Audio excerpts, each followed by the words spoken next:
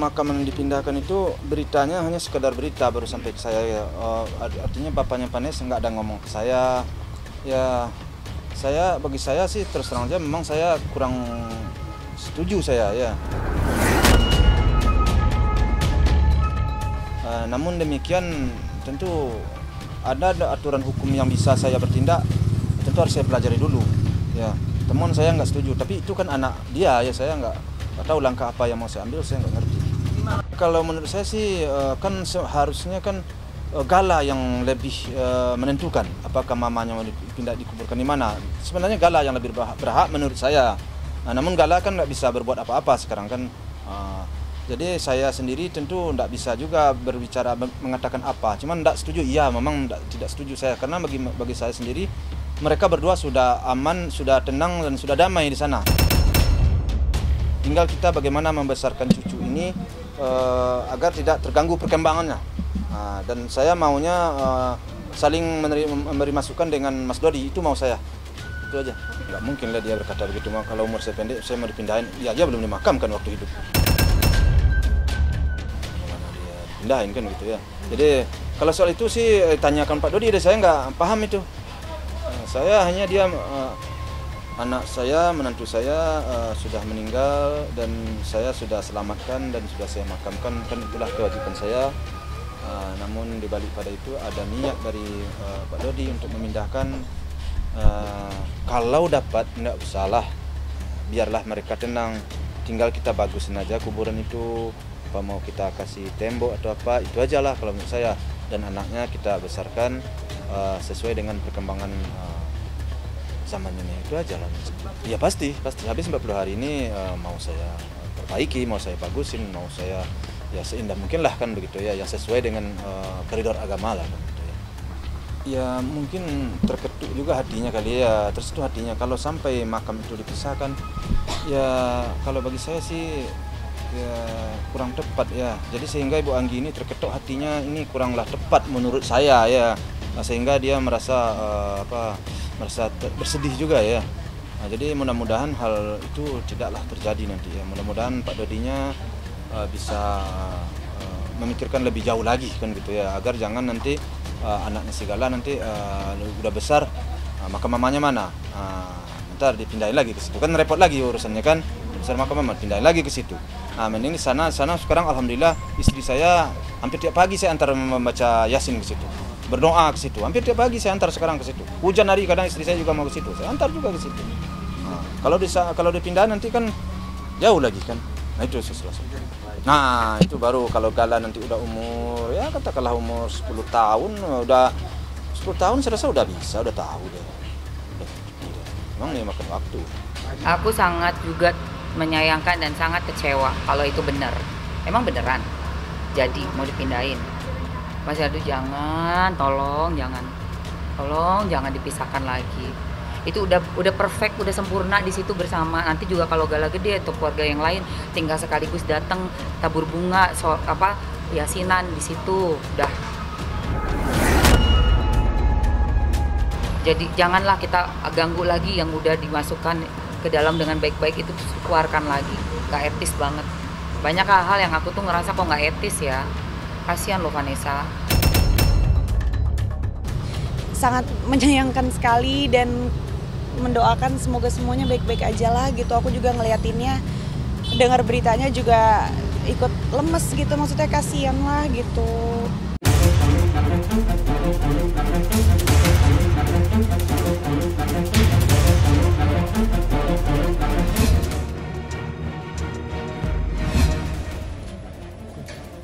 Ya jadi gimana? ini menyambangi uh, nenek nih uh -huh.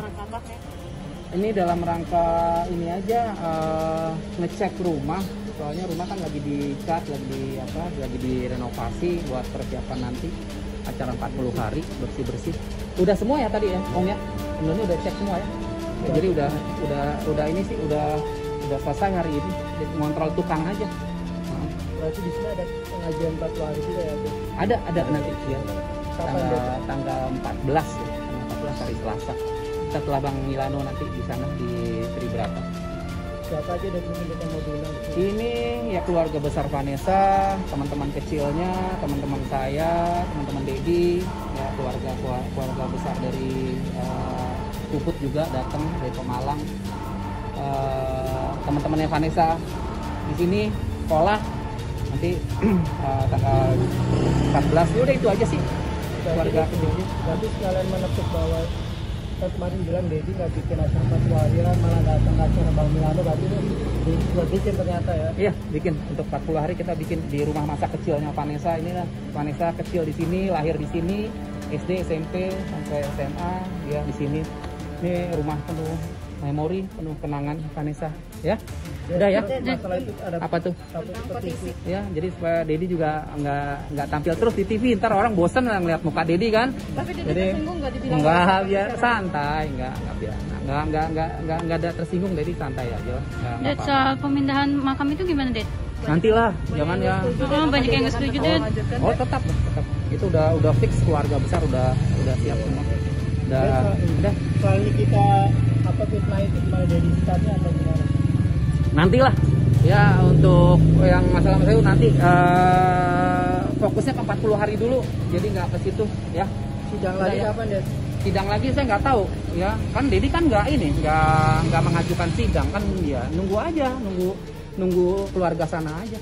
Tanya aja keluarga sana mau kapan kalau Dedis kan tinggal dikirimkan surat biasanya dari pengadilan ya Dek kabarnya keluarga dari Surabaya, keluarga Vanessa mendapat Mbak Faisal marah besar karena ada donasi untuk gala ya Dek. Ya, Tante Reni, ya betul. Ya, saya nggak tahu ya tujuannya Pak Faisal itu ngapain gitu telepon-telepon adik ipar saya gitu, adik ipar saya ke ke Surabaya gitu. Ya, Tante Reni juga ngomong sama saya, gitu. nggak tahu ya. Tanya aja sama dia tujuannya apa gitu. Ya, jelas lah keluarga saya marah lah dengan donasi itu kan. Kesannya kan kayak seperti eh, apa ya ngemis-ngemis ya. Jadi kayak seperti bencana alam gitu. Padahal kan eh, terus minta-minta seperti itu gitu. Berarti yayasan itu yang dibuat tan- tanpa ada omongan sama Dedi nih, Ded? Iya nggak ada, nggak ada. Kan Dedi nggak tahu itu masalah itu ya. Dan Udah Om ya. Faisal katanya pengen ketemu sama Dedi, pengen bicara secara kekeluargaan aja daripada panjang Kapan? begini. Siapa yang bilang? Oh apa Haji Faisal? Kapan bilang? Kapan? Kita Kapan bilang? Tiga hari yang lalu. Tiga hari yang lalu. Oh, oh nggak nggak ada ya nggak nggak nyampainya nggak ke Dedi. Ya belum tahu.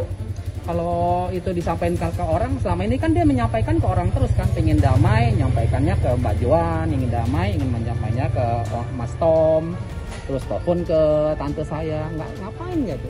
Saya juga nggak nggak ngerti gitu. Ya, Dek, tapi kemarin Dedi bilang ke Pak Faisal mau calling down dulu komunikasinya sama Pikir beliau. Dek, sama Dedi minta calling down dulu, Yang saling introspeksi diri. Yang mana? Maksudnya nggak komunikasi sama Pak Haji Faisal karena Dedi permintaannya pengen calling down dulu santai Iya. gitu. Itu benar Dedi yang meminta seperti itu. Untuk Iya, memang, memang dulu. benar, benar. Waktu itu, waktu yang dari pengadilan memang benar seperti itu. Iya. Tapi kalau seandainya Pak Haji Faisal menghubungi, Do- eh, menghubungi Dedi, Oh, Dedi mau merespon. Ya, ya merespon. Apa dulu itunya permintaan? Untuk permintaan bertemu mungkin kan? Ya nantilah saya saya akan ap- apa eh, konsultasi dengan Bang Milano. Gitu. Karena kan udah menyangkut hukum, jadi harus dikonsultasikan ke kuasa hukum ya. Oke, oke. Makasih. ya. Terima kasih, Dek. Oke, makasih. Eh, Bismillahirrahmanirrahim. Eh, makam seseorang ketika sudah meninggal dunia maka haram dipindahkan kecuali ada alasan-alasan darurat. Misalnya makam tersebut ada di pinggir sungai, di pinggir kali, di tempat-tempat pembuangan sampah yang berdekatan dengan makam tersebut. Dikhawatirkan ada eh, air yang merembes atau akan dirusak oleh aliran sungai tersebut. Itu boleh dipindahkan. Tapi ketika tidak ada alasan yang darurat, tidak ada uzur syar'i, maka haram hukumnya bahkan disepakati oleh semua ulama untuk memindahkan eh, makam tersebut. Dan seandainya pun dipindahkan, harus ada ketentuan, ada syarat yang memang harus eh, diperhatikan. Di antaranya adalah supaya tidak eh, merusak eh, jenazah tersebut, apalagi sampai mematahkan tulangnya. Karena ketika memindahkan jenazah kemudian mematahkan tulangnya, maka itu hukumnya sama dengan mematahkan tulang ketika jenazah itu masih hidup. Artinya ketika memang darurat untuk dipindahkan itu pun harus dengan syarat betul-betul diperlakukan secara baik. Dan kenapa membongkar e, makam itu betul-betul harus diperhatikan hukumnya apakah ini darurat atau tidak karena khawatir ketika dibongkar jenazahnya ada beberapa aib dari tubuh jenazah yang akhirnya bisa kelihatan gitu loh. Artinya dalam agama Islam ini memang jangankan orang yang hidup ya. Orang yang sudah dikubur, orang yang wafat saja betul-betul diperhatikan. Betul-betul kemaslahatannya harus uh, jangan sampai terabaikan. Uh, baik, dalam uh, beberapa kasus ada yang mengatakan bahwa oh ini wasiat dari jenazah dari almarhum atau almarhumah wasiat itu lebih kepada yang bentuknya materi ya. Misalnya wasiat kalau uh, tanah yang sudah uh, di sebelah kiri rumah ini suatu saat kalau saya meninggal ini harus diberikan ke uh, pesantren yatim misalnya itu wasiat. Tapi selama tidak berbentuk materi, tidak berbentuk harta, maka wasiat itu boleh dijalankan, boleh tidak. Uh, misalnya ketika ada orang meninggal terus keluarga bilang ini wasiatnya harus dikuburin di tempat e, jenazah dulu dilahirkan tempat almarhum dilahirkan sedangkan jaraknya itu jauh gitu loh. Nah ini kan justru akan menyebabkan e, jenazah tidak cepat-cepat dikuburkan. Padahal di antara sekian banyak hal yang harus disegerakan adalah mengubur jenazah atau mayat yang baru saja meninggal. E, baik, sebenarnya urusan dipindahkan uh, satu jenazah ketika dimakamkan bersama menurut saya kalau pertimbangannya darurat itu hal yang dibolehkan misalnya uh, khawatir uh, tempat uh, pemakamannya itu ada di pinggir sungai gitu ya atau dekat tempat pembuangan sampah yang justru nanti bisa Eh, membuat para peziarahnya tidak nyaman dan lain sebagainya. Pertimbangan-pertimbangan demi kemaslahatan umum dan keluarga. Tetapi kalau alasan utamanya hanya sekedar wasiat karena mimpi, minta dikuburkan jangankan sekedar mimpi ya. Kalaupun ada orang yang e, berpesan sebelum dia meninggal ingin dikuburkan di sini, ingin dikuburkan di sana, selama itu sifatnya bukan terkait dengan urusan materi dan harta yang ingin diwariskan atau diwasiatkan, maka e, mimpi itu atau wasiat itu boleh dijalankan, boleh tidak dengan pertimbangan yang sangat matang.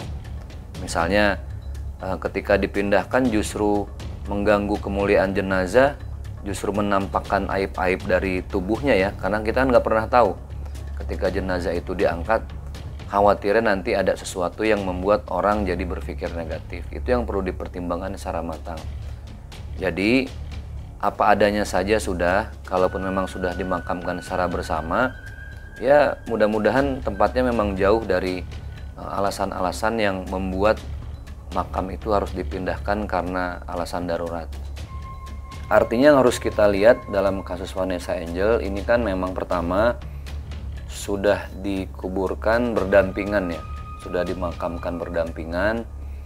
Artinya ketika e, orang tuanya hanya berdasarkan pada alasan wasiat, maka wasiat itu boleh dijalankan atau tidak.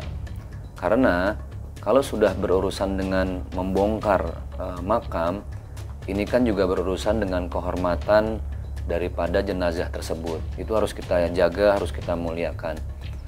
Eh, jadi kalau memang tidak ada alasan yang darurat, sebaiknya dibiarkan seperti apa adanya. Kalaupun kekhawatiran yang saya baca itu kan, kekhawatirannya takut nanti ada pelebaran jalan dan lain sebagainya. Kalaupun suatu saat ada pelebaran jalan, eh, itu pasti sudah diatur oleh pemerintah, sehingga secara hukum agama atau hukum negara sudah betul-betul difikirkan secara matang gitu loh. Karena itu demi kemaslahatan umum. Intinya selama tidak ada alasan darurat atau hanya karena wasiat, menurut uh, saya lebih baik didiamkan pada tempatnya saja supaya menjaga kehormatan dan kemuliaan jenazahnya.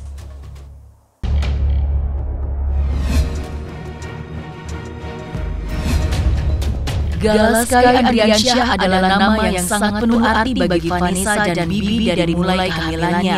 Arti nama anaknya adalah anak yang kuat, pintar, pemberani, dan penyayang.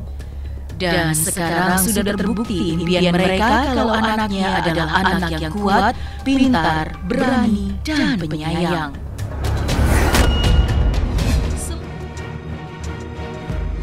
dari awal saya udah melihat Rizky sama Nadia itu hubungannya udah bisa dibilang apa ya gak akan lama gitu ya.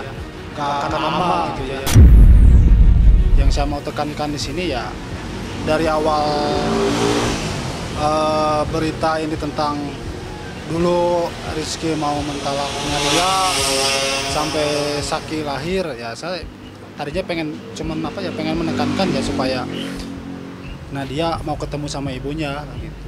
Kaget, adalah kaget gitu ya. Cuman kan saya melihat ini dari awal memang kan rum, apa hubungan Nadia sama Rizky ini memang saya melihatnya ada masalah gitu dari awal. Ketidak keterbukaan mereka ya termasuk ke keluarga kandung kami gitu. Ya maupun ke media.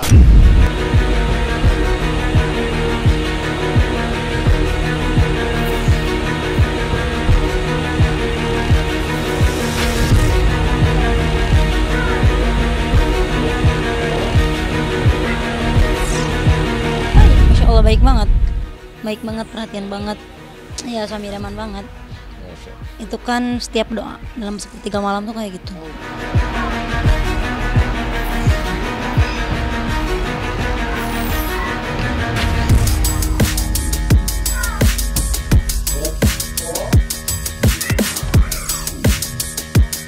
Saya menilainya kenapa ya Rizky? Maksudnya nggak tahu ya kalau di belakang kenapa Rizky tidak bisa membawa ketemu Nadia sama ibunya walaupun sekali kan belum pernah sama sekali. Mendoakan tetap mendoakan ya semoga Nadia apa ya yang terbaik buat Nadia siapa pun itu pasangannya ya sekarang Rizky. Tapi kekecewaannya ada gitu karena dari dulu sampai sekarang Nadia belum mau apa ketemu sama ibunya